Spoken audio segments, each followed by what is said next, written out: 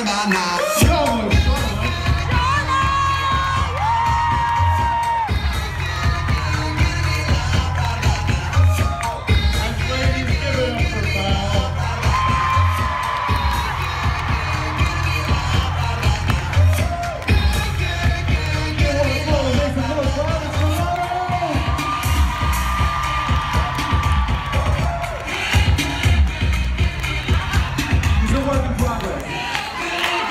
Still trying. We got two more weeks. Farewell. Thank you very much for your hospitality. We love you.